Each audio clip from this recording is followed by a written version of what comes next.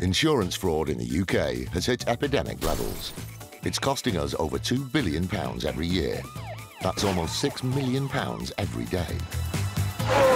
Deliberate crashes, bogus personal injuries, even phantom pets. The fraudsters are risking more and more to make a quick killing. And every year, it's adding over £50 to your insurance bill. But insurers are fighting back exposing 15 fake claims every hour. Armed with covert surveillance systems, that's the subject out the vehicle, sophisticated data analysis techniques, and a highly skilled, dedicated police unit. Police, don't move, stay where you are! They're catching the criminals red-handed. Just don't lie to us. All those con men, scammers, and cheats on the fiddle are now caught in the act and claimed and shamed.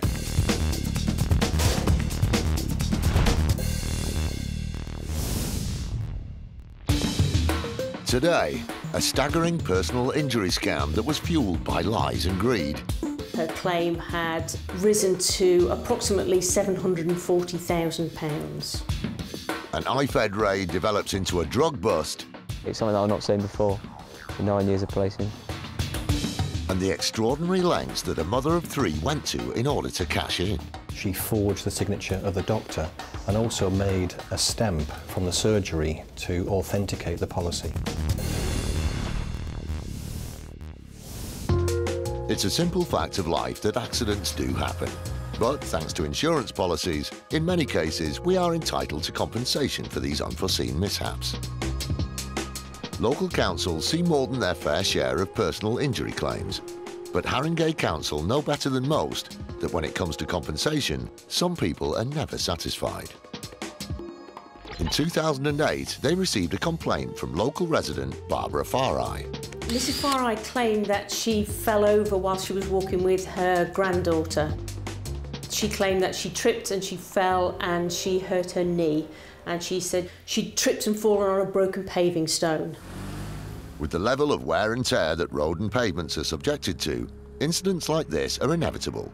So Haringey Council began their usual procedure for such a claim and launched an inquiry. Of Haringey didn't dispute the fact that she had fallen, that she had suffered injuries, and the council, when it investigated that claim, found that it had been negligent in maintaining that section of pavement. So, we have a genuine claim for a fall that actually happened, and the council had admitted negligence. Sounds like a textbook case for compensation. What could possibly go wrong? Her initial claim was for um, damage to her knee. The, uh, the council made an offer uh, which was approximately £7,500 on the basis that Homes for Haringey's assessment of the injuries were that it would have resolved itself within a three to six month um, time scale. £7,500 for an injured knee seems fair enough, but Barbara Farai didn't agree and decided to take matters into her own hands. She submitted her own medical um, expert opinion to say that um, she was severely um, incapacitated by the fall and the uh, injuries were likely to be ongoing and severe. We sent Mrs Farai to our own medical experts who agreed that her injuries were substantial and likely to be um, continuing beyond the three, initial three to six months um, original prognosis. In light of the revised assessment of her injuries, Barbara Farai submitted a new claim for compensation. Although it's fair to say that the amount she was asking for isn't quite what the council were expecting. Mrs Farai claimed that her, her quality of life had, had, altered so substantially that her claim had um, risen to approximately £740,000. For those of you who aren't mathematically minded, that's almost 100 times the figure that Barbara Farai was originally offered. But how did she get to such an inflated amount? She claimed her husband had to give up his work um, to care for her 24 hours a day. She claimed for additional care support um, beyond her, her family. Um, it was for uh, out-of-pocket uh, expenses for taxis, um, for um, additional um, expenses as a result of not being able to live her life um, normally as she claimed to have done before. The level of care and assistance that Barbara Farai was claiming for was so extensive that Haringey Council began to have serious doubts about the legitimacy of her claim, so they decided to investigate further. We made a decision to put Mrs Farai under surveillance to see if what she was claiming was actually true in her day-to-day -day life. It was felt that Mrs Farai thought that she was being followed and resorted to using um, crutches and getting support from her family members. However, when she felt like that she wasn't being followed, um, the crutches were dispensed with and she was able to walk normally, including carrying heavy bags of shopping up and down the hill, um, entering the house without difficulty. So the surveillance activity in this case we felt was not only was it justified, it supported uh, the Homes for Haringey's case against Mrs Farai. With the video evidence clearly showing that Barbara Farai's claims were untrue, her case for compensation was falling down. And as Haringey Council's investigations continued, they discovered the severity of her injuries weren't the only thing that Mrs Farai had been less than truthful about. Mrs Farai's original statement made no mention of the fact that she had um, an existing condition of, of arthritis which affected her knee. Both uh, her own medical expert and Homes for Haringey's insurer's medical expert um, agreed that they had been both been misled by Mrs Farai uh, and uh, revised their statements accordingly. Barbara Farai's case was on dodgy ground, but she still had one last chance to set the record straight. We, we presented the, uh, the video surveillance to, to Mrs Farai and her solicitor and um, invited her to um, revise her assessment of the £740,000 claim. Mrs Farai uh, declined that and so the case went to court. So, from an original offer of £7,500 for a legitimate claim, Barbara Farai's greed and fraudulent actions landed her in front of the judge in the High Court. The judge made an assessment that her injuries were unlikely to continue beyond uh, three months, and in his opinion, uh, the claim should have amounted to no more than £1,500 as opposed to the £740,000 that she um, eventually claimed. In fact, the judge was um, of the opinion that she wasn't entitled to claim anything.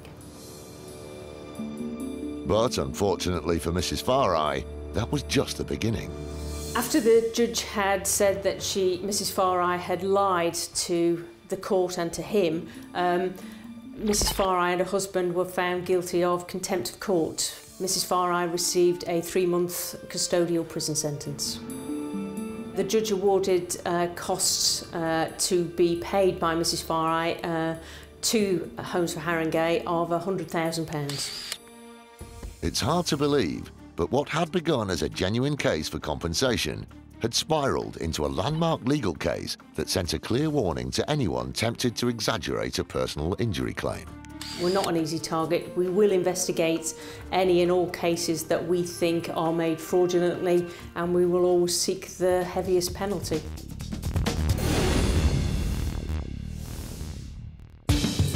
Still to come, surprising discoveries. Just stumbled across something that's, that's quite important. It will have a big impact on the local community. And a summer holiday scam.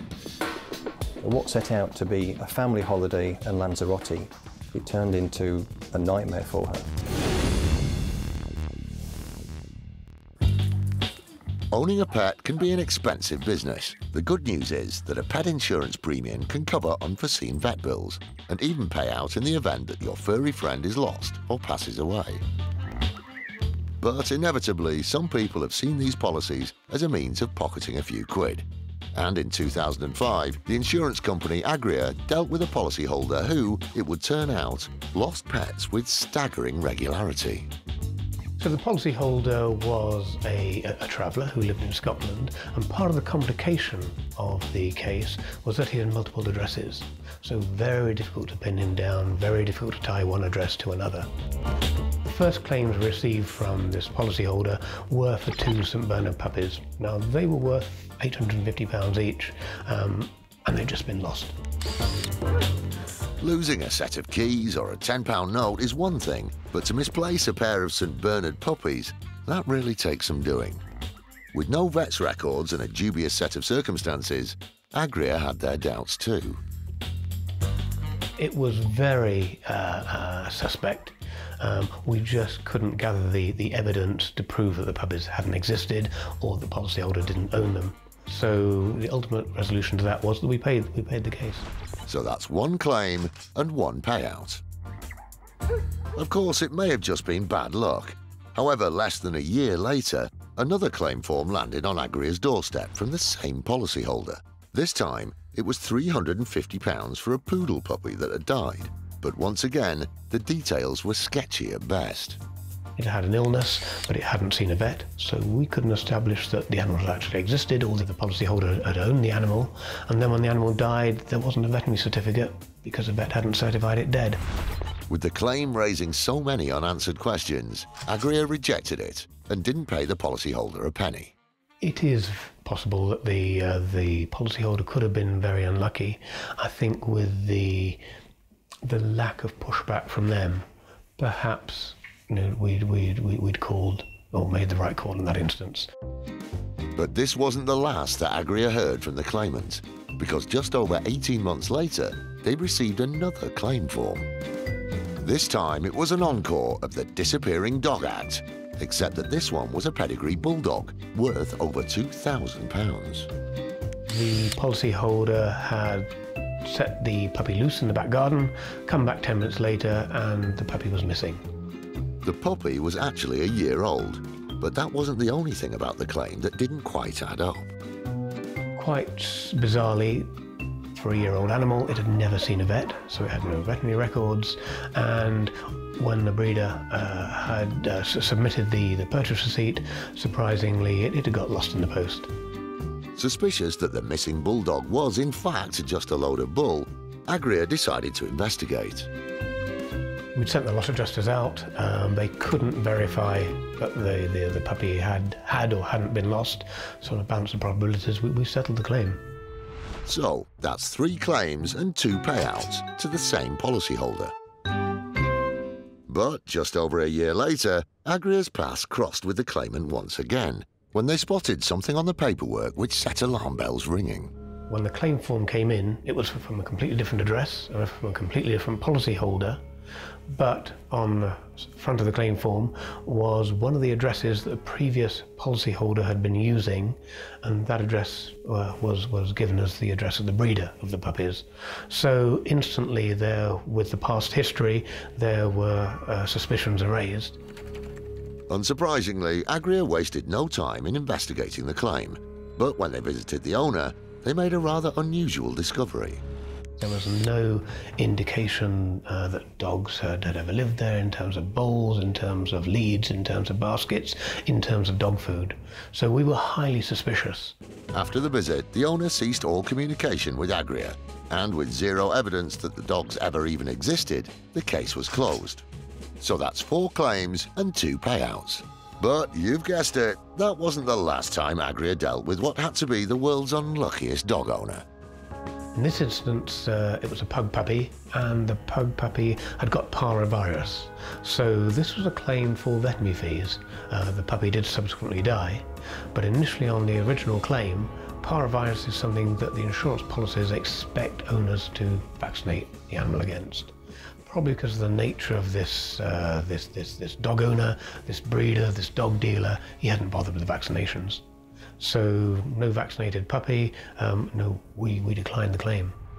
This time, the owner's track record of never taking his dogs to the vet had backfired. And further investigations revealed he had another six policies in place ready to make claims on. Although as far as Agria was concerned, this dog had had its day. But if people are determined to uh, to to defraud insurers, you know, sometimes they'll find a way. You know, luckily, in this instance, uh, you know, we stopped three cases, stopped potential six others. Um, you know, the downside of that was we paid two.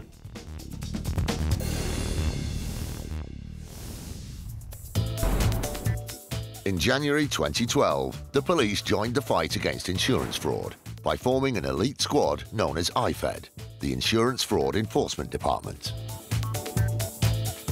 I would say to anyone who's considering committing insurance fraud that now this is no longer a crime without consequence that it may have been in the past. There is a dedicated 40 strong unit known as IFED that work 24-7 hunting down insurance fraudsters They've made over 450 arrests and have saved millions of pounds in fraudulent insurance claims, money which ultimately goes back in our pockets.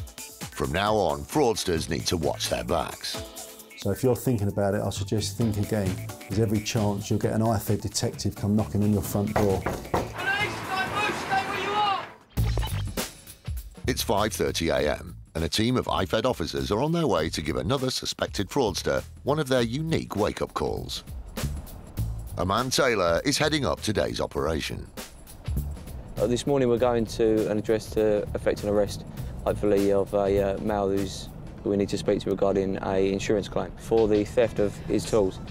They've subsequently paid him out £1,000 on the first occasion and he's gone on to submit a further three claims uh, and they've paid out £1,000 in total. It was the multiple claims on the suspect's contents insurance that led IFED to suspect foul play. What we were uh, look to do this morning is to go in, uh, arrest our suspect and then search for any items uh, relating to any offence, particularly fraud. Having arrived at the address, the team prepare to go in.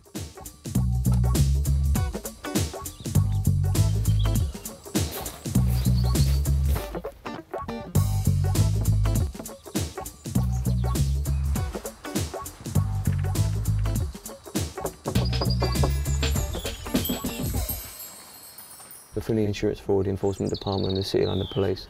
We need to speak to him, all right? The person who's answered the door is claiming the suspect is at work, but IFED officers are a tenacious bunch and have persuaded the person at the door to call the suspect. He's now on his way home and can look forward to a warm welcome from the IFED boys on his return. Uh, he's at work, he's working night, so we've just phoned him and he's coming back, he'll be back in within the hour so that we can uh, hopefully speak to him there. Sure enough, just under an hour later, the suspect arrives home.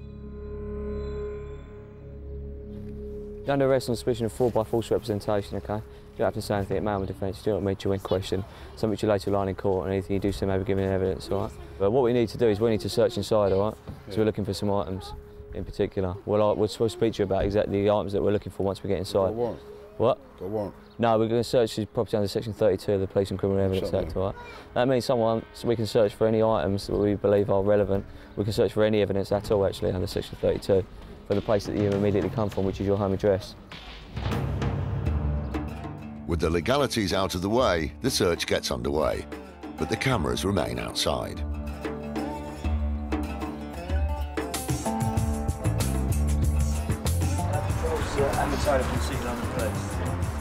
Almost an hour later, a man emerges from the property, having made an interesting discovery. Um, some receipts there, one for £100, and just some paperwork and his mobile phone. The reason we seize his mobile phone is because uh, we believe that any photographs that have been taken of tools are more than likely going to have been taken on the mobile phone. So what we do is we take that back to the police station, we'll download it, download all the data from it, and then from that we can pick the bones out of it and see what information we want from the, from the data from the phone. But weeding out documents isn't the only success of the day, because the team have also unearthed something that the local police will be very keen to take a look at. One of the DC's gone out to the shed out in the back, um, in the out, there's like a little outbuilding. He heard some whirring from inside, and then our suspect has said that he's growing 50 cannabis plants there. So uh, what we're doing now is I've called the local police force down to assist us with some uniform officers to dismantle it and seize it. What we'll do is we'll probably seize all of the plants and then from that take a, a specific sample, but it'll be a crime that will be more likely investigated by police. For a man and IFED, it's an unusual bonus. After all, it isn't every day they arrest a suspected fraudster with green fingers. So it's quite a sophisticated setup. So he's, he's obviously taken quite a bit of time to put that together. Uh, the door's key coded to get in, which is totally unique, something that I've not seen before in nine years of policing. As local police units arrive, the cannabis farm is dismantled and bagged up as evidence. As far as IFED is concerned, though, today was all about bringing a suspected insurance scammer to justice, and a man is happy with the way the raid has gone. I think we've got more than enough to look at going forward. Uh, obviously, we won't know until we've interviewed him, until he's given an account of what he's got to say.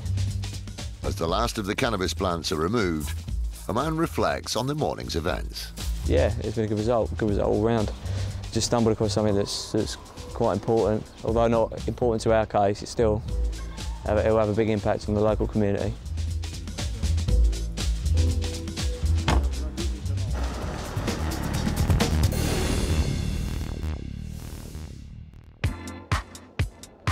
Every year, thousands of us Brits pack up and head off on our holidays. But unforeseen circumstances can mean that even the most perfectly planned trip away never gets off the ground. Thanks to travel insurance policies, we don't have to be out of pocket when disaster strikes. Although in 2013, the officers at the Insurance Fraud Enforcement Department discovered someone who saw these policies as a means of lining their pockets. Joanna Hunt is a case we dealt with last year. Uh, she was a mother um, of three children and she booked a holiday to go to Lanzarote. Um, she booked this holiday two weeks before the flight and within Within two days, she'd taken out seven policies of insurance to insure her risk against travel. A couple of days before she was due to set off, one of her children became unwell and she took that child to see her GP. And the GP agreed that the child was unwell and would be unfit to travel. A child falling sick is one of those things that just can't be helped. But with seven insurance policies in place, Joanne Hunt was able to help herself. And that's precisely what she did she made the claim on the policies. So the insurance company sent, sent her the claim forms and she made a claim on all seven policies. So the holiday cost 1600 and had she have been paid out on all seven, she would have been making about £11,000. Almost £9,000 profit in the space of a few weeks wouldn't have been bad going. But fortunately, defrauding insurance companies isn't that easy. The fraud was uncovered when the insurance companies, they do talk to each other and they communicated that they were all about to pay out on a policy. So when they discovered that, they froze the payouts and they referred the case to ourselves. With IFED now running the investigation, Joanne Hunt was brought in for questioning. Joanne Hunt gave an explanation in interview which had to be checked out, so we went to see her GP. He confirmed that yes, he had seen uh, the, young, the young daughter, and she had been unwell. The seven claim forms were shown to the GP, and whilst he confirmed that he had signed one of the policies, he also said that the other six were forgeries of his own signature. In order to commit this fraud, Joanna Hunt had to forge several documents. The first one, of course, was the, the policy of insurance.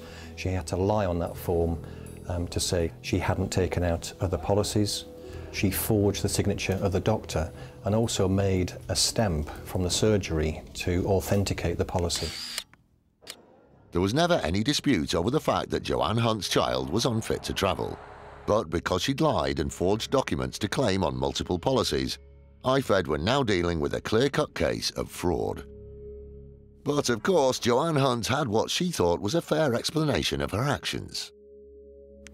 At the time, I don't think she realised how serious this case was, but when she was interviewed in the police station by IFED detectives, she tried to explain that the reason why she took out the seven policies wasn't in order to commit a fraud. She thought that she'd take out the seven policies so that when the paperwork arrived, she would then look at the small print and then decide which policy she wanted to continue to take out. The remaining six, she said, she was intending to cancel but she didn't. And she went on to claim on all seven policies. Unsurprisingly, IFED didn't buy Joanne's excuses, and so she was charged with seven counts of fraud by misrepresentation. Well, by the time she got to court, she realised that the court may not have accepted her excuses, and having taken legal advice, she pleaded guilty in court. She was sentenced to a suspended prison sentence, and she also received community service and a fine and costs. Like so many other scammers, Joanne Hunt had been seduced by greed and the prospect of making easy money. But she discovered the hard way that fraud is a crime which doesn't pay. Joanne Hunt was a young mother, 28 years old, mother of three children. So what set out to be a family holiday in Lanzarote, it turned into a nightmare for her, and she's lost her, her good name for life. Having investigated cases like this for the past two years, Dom knows full well what the consequences of insurance fraud can be. I think generally the fraudsters who commit these crimes, they do think it is a faceless crime. But in fact, every person in the country who has a policy of insurance, whether it be for travel, whether it be household, whether it be health, we are all paying the extra on our policies because of these fraudsters. With £2 billion a year lost through insurance fraud, companies are doing all they can to fight back. But one of the biggest problems they face is that lengthy investigations cost time, money and resources, which could be devoted to legitimate claims. The key to winning this battle is to try and identify fraudulent cases as quickly as possible. And one of the ways insurers are doing this is by using the likes of Sally Griffiths and her team of desktop investigators who are trained to spot dodgy claims over the phone. What we're really listening out for is what they say, but also how they say it signs of nervousness, hesitation, any indication at all that the customer is perhaps buying time or being evasive, using like certain techniques that we call um, parroting, repeating um, the, the question back so that we, we know that there's something not quite right, they can't answer the question fluidly. But the advantages of these techniques don't end there, because Sally's team have also managed to identify which type of insurance fraudsters think is the easiest target people believe that it's easier to commit travel insurance fraud uh, without getting caught. And also, they believe that it's not going to affect their, their no claims discount as it would do for a motor or a household claim. And believe it or not, travel insurance fraud can even be affected by the weather. During the summer months, we do have uh, an increase in, in claims coming through as people are obviously going on holiday. The particular trend that we saw last year involved the nice weather that we had in England, and we found that there was an increase in cancellation claims. So it seemed that people were cancelling their overseas holidays in order to save money on that holiday and then stay at home and enjoy the sunshine here. So, for anyone who thinks that conjuring up a bogus claim on their holiday insurance could be a nice little earner, Sally has some words of warning. People think that making a, a false traveller's insurance claim is going to be really easy. They can just come on the phone and speak to someone and all be done and dusted. The reality is, if they're speaking to a trained investigator, every lie that they say will be picked up on and they'll be caught out.